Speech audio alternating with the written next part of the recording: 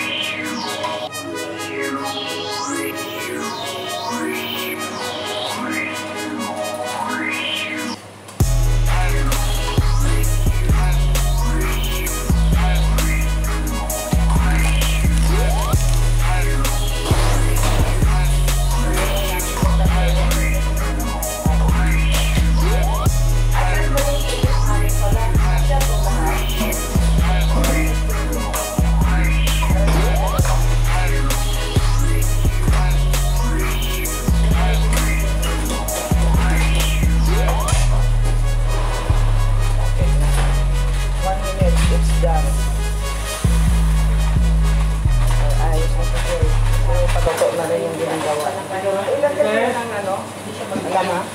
Hindi na pwede na. Ay, hindi yata ka dyan eh. Hanggang na lang namin.